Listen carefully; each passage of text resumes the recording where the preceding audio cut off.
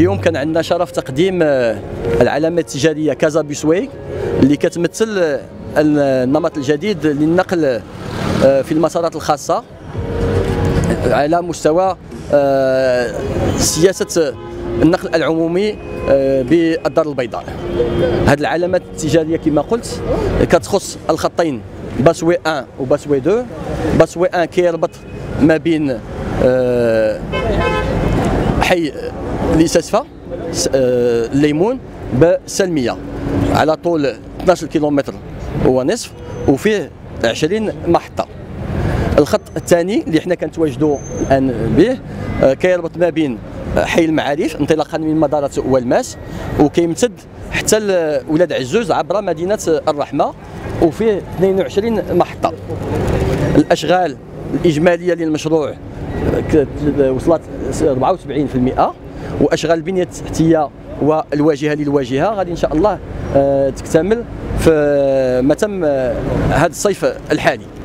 الشروع في الخدمة غادي يبدأ إن شاء الله خلال الثلاث أشهر الأولى من سنة 2023 هذا مشروع آه، ديال الباسواي هو آه، يعني داخل في إطار المخطط المخطط ديال النقل والتنقلات الحضرية داخل مدينة الدار البيضاء.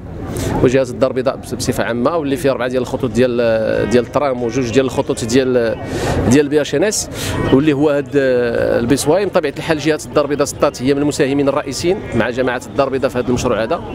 وهذا المشروع هذا ديال ال busway اللي فيه تقريبا 12 كيلومتر 12 كيلومتر في الخط الخامس و12 كيلومتر ونص في الخط السادس آه، وهو تقريبا واحد ال trajet ديال 34 حتى 35 دقيقة. بطبيعة الحال الهدف من هذا الشيء هذا هو تيسير النقل والتنقلات داخل المدينة.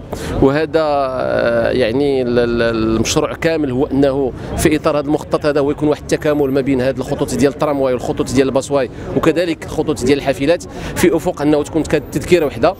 وكذلك مع مع التكامل أيضا مع مع المرابد العمومية لأنه هناك أيضا مخطط ديال المرابد العمومية اللي كما شفتوا أنه المدينة الآن كتشرف على الإنجاز ديالهم. ومن بعد إن شاء الله المواطن غادي يمكن أنه بنفس ال ticket يعني بنفس التذكرة أنه يركب في الحافلة ويركب في هذا ال busway ويركب في الترامواي. ويمكن له كذلك أنه يحط السيارة ديالو. هذا الهدف ديالو هو أنه التقليل من الاستعمال ديال السيارة الخاصة. ونحاولوا أنه المواطنين نعطيهم واحد l'offre يعني واحد واحد النقل اللي يمكنهم أنهم يستغناو على السيارة الخاصة ديالهم في بعض التنقلات يعني أول busway اللي دار في المغرب وأنه تقريبا بحال الترامواي حتى بالنسبة يعني المحطات ديالو بالنسبة للمرور ديالو الأسبقية ديالو على حسب السيارات الخاصة كله تقريبا بحال التنظيم ديال ديال واش هو الفرق ما بينه وبين الحافلات العادية؟